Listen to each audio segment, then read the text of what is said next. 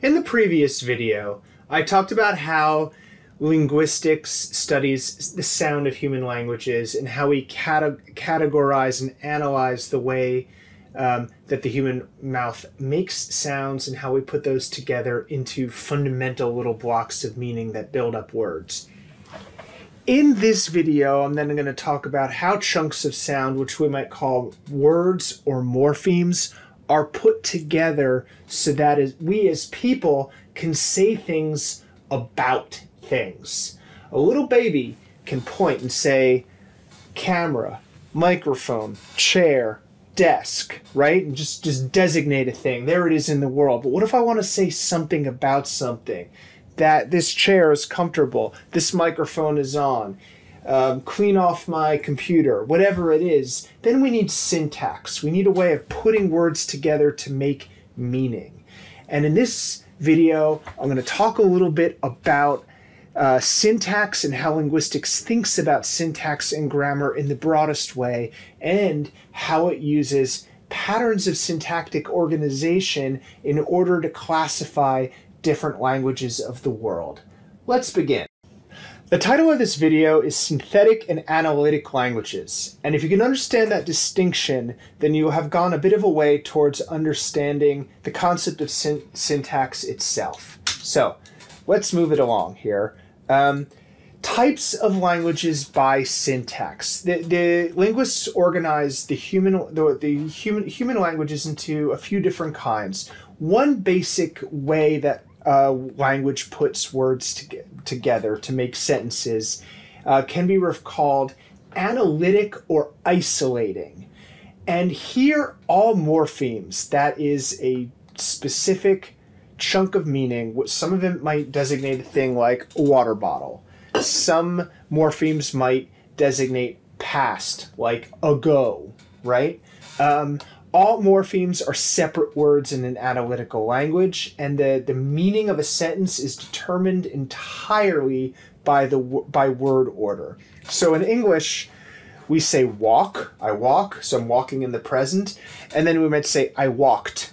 Now notice that little little alveolar sound at the end. I walked.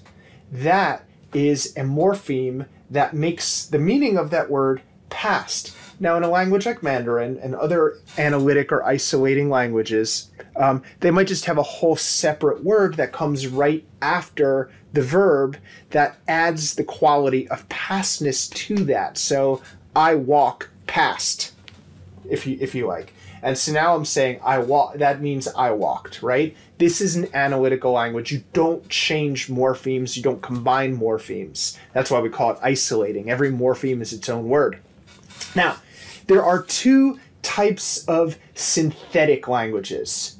One is agglutinative, and this includes Japanese, uh, Bantu, um, that's a whole language family actually, Algonquian, which is an indigenous North American language, Turkish, I think, is also agglutinative, and, th- and Finnish as well.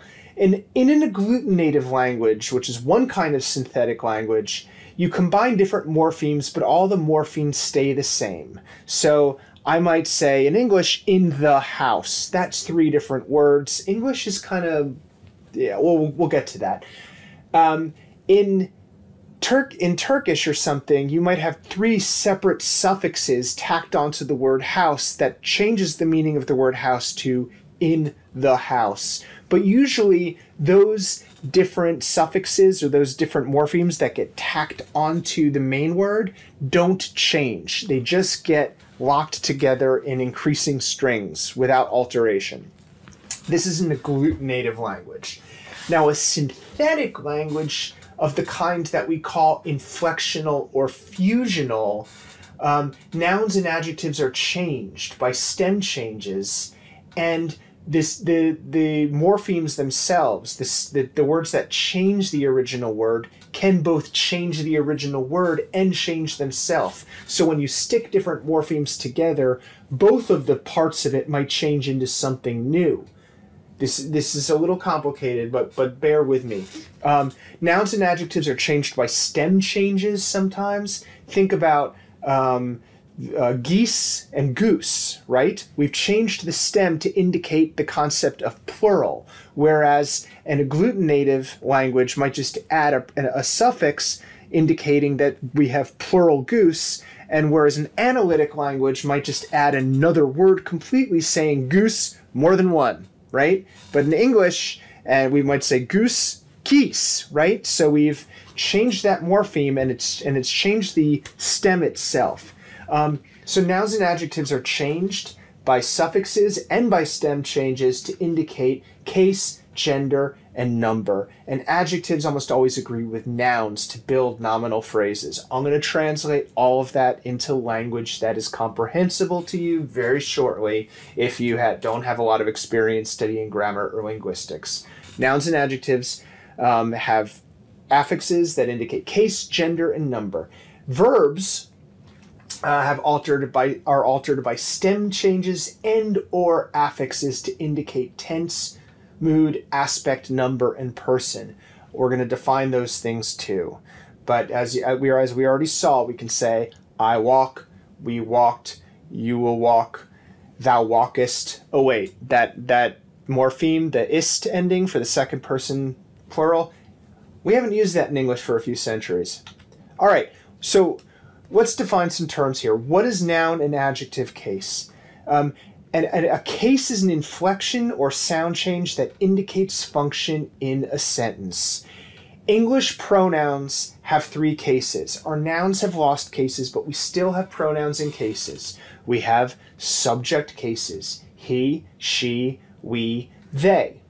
You can't say him likes the hot dog, right? You can't say her goes to the library. Well, I mean, you can, but a native speaker will say, that's not right. Um, we have object cases him, her, us, them, right? You like us, we like you. Us is an object pronoun. It means it has to be the object of a verb, not the subject of the verb. And we also have possessive his, hers, its, theirs. English nouns have, have a case too. We just don't think of it as a case because of the apostrophe, but Professor Newman, Professor Newman's, right? That z, Newman's at the end there, that is an inflection. An inflection is a morpheme that is stuck onto a stem that changes um, how the word is functioning in the sentence without changing the fundamental meaning of the word. Um, in Indo European languages and many other inflectional languages, adjectives agree with the nouns that they modify. If you've studied Spanish or French or Italian or German, you know what I'm talking about. In Spanish, we might say, um, del doño rubio, de los doños rubios. Now, we don't say the blonde gentleman or the blonde lady or uh, in English. Well, we do say the blonde gentleman and the blonde lady in English. We do not say the blondes gentlemen's and the blondes ladies in English because we've lost this feature of Indo-European. Um, Latin has it though, Domini albi, Dominorum alborum, Domini albi, Dominarum alborum. All of those mean the same thing as they do in Spanish, the blonde gentleman, the blonde lady. Um, and so these are cases, gent, the cases subject, object, possessive. There are more cases. Um, you could also have cases that indicate uh, who's doing what, who who uh, cases indicating direct indirect object, cases indicating location, uh, cases indicating material, like what is this made out of? It's made out of gold. So I think Indo-European had eight or nine cases. I'm not sure. Slavic languages still maintain a huge number of cases, actually. Um, uh, all right, so what are the inflected features of Indo-European nominals? What are the number of case in, in Indo-European? You had a whole bunch of cases. You had a case. You could make a, uh, endings to a word that indicated it was the subject of a sentence, an object that you were going towards something, you were going away from it, when it happened, um, in July, in the year 34, in in the summer, right? And summer, instead of saying in the summer, you'd say summer plus a piece of the word tacked on the end to indicate that it's a location and time. Um, words for exchange, words for possession, we still have that in English. Agency, who did it? It was done by whom? Well, we don't say by whom, we would just have a form of who that indicated that who was doing it. And instrumentation. What did you do with it? Do it with. I did it with a candlestick. I did it with a rope. I did it with poison. Sorry, I've been reading a lot of murder mysteries lately. So case is indicated by the inflection of an Indo European noun in Latin, in Greek, in Sanskrit, in Russian, in um, German to a lesser extent, uh, in Romanian, in uh, Irish and Goidelic and Breton, members of the Celtic language subfamily of Indo European. Inflected features of Indo European nominals also include number and gender.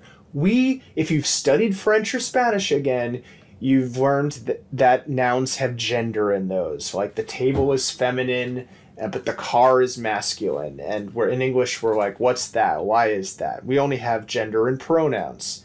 Um, uh, and um, so uh, we as English speakers have a hard time learning languages with gendered nouns because we kind of have to dig a category into our brain just for nouns to have gender.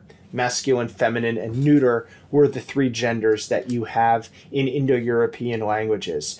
But there are languages in Africa or, or, or, or Aboriginal languages in Australia that have many more genders than three. There's masculine, feminine, uh, there's a gender for for round things, edible things, animals, minerals. Like there's different ways of organizing the gender system. The word gender in Latin means kind. It's related to the word kind. Like what kind of thing is it? Um, and ours have this. An, an Indo-European gender has this rough link to what we might refer to as as biological sex. Um, problematic concept. Let's not talk about that today. Um, the other thing that Indo European nouns inflect are um, number. And this we, we have kept to some extent in English, right? We still inflect nouns for number. Tooth, teeth. Computer, computers. Professor, professors. Goose, geese, right? And so, um, yeah, that's nouns. Actually, this video's gone on long enough, so I'm going to let you take a break, break, get a drink of water, um, I don't know, do something fulfilling with your life. And then I'm going to do a whole other video on inflections of verbs. I can't promise I'll talk slower, but I'll pro- I, I, I will I do promise it will be shorter and just as exciting.